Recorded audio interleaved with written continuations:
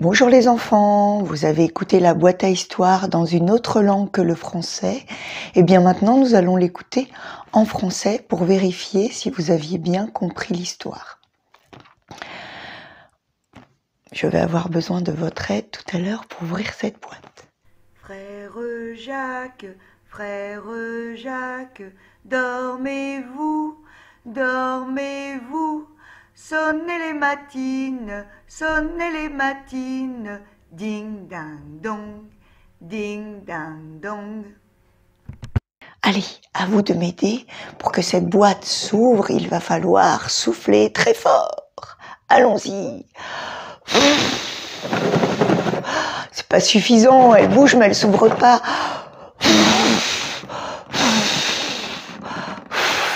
Ouais, on a réussi. Merci. Oh, oh là là là là.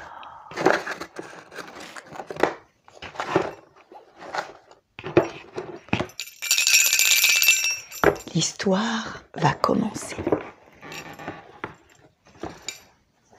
Il était une fois dans une grande forêt.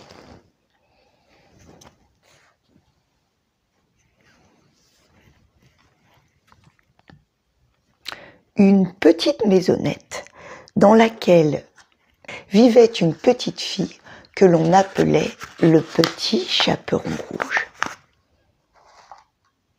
L'autre côté de la forêt se trouvait la maison de sa grand-mère. La maison.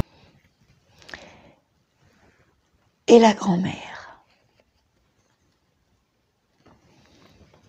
Un jour, la maman du petit chaperon rouge lui demanda d'apporter un panier de biscuits à sa grand-mère qui était malade. Le panier et les biscuits. Les biscuits les biscuits, les biscuits, vous répétez le mot, et moi je mange le biscuit. Avant de partir, sa maman lui recommanda de ne pas s'arrêter en chemin et de ne parler à personne et surtout pas au loup. Mais le petit chaperon rouge désobéit. Elle flâna dans la forêt et prit le temps d'attraper des papillons et de cueillir des fleurs. Les fleurs. Vous répétez? Les fleurs.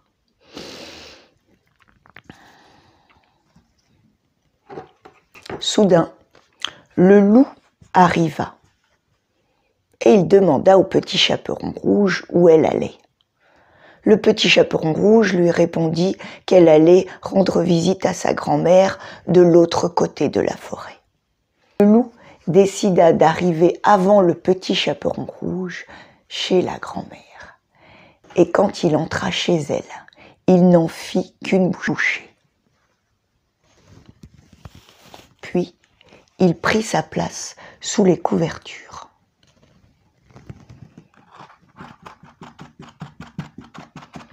Lorsque le petit chaperon rouge arriva chez sa grand-mère, elle la trouva un peu étrange, et elle lui demanda pourquoi ses yeux et ses oreilles étaient si grands. Le loup répondit que c'était pour mieux la voir et l'entendre. Et quand le petit chaperon rouge lui demanda pourquoi sa bouche était si grande, le loup jaillit de sous les couvertures et la dévora à son tour.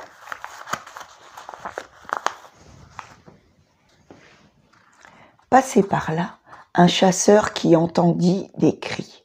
Il entra dans la maison, tira sur le loup et lui découpa le ventre en faisant sortir le petit chaperon rouge et la grand-mère. Heureux, ils s'embrassèrent dégustèrent ensemble les biscuits apportés par le petit chaperon rouge. L'histoire est terminée. Nous allons dire au revoir aux personnages. Au revoir le petit chaperon rouge. Vous répétez. Au revoir le chasseur. Au revoir les fleurs. Au revoir la grand-mère. Au revoir les biscuits. Au revoir le loup. Au revoir les maisons. Au revoir la forêt.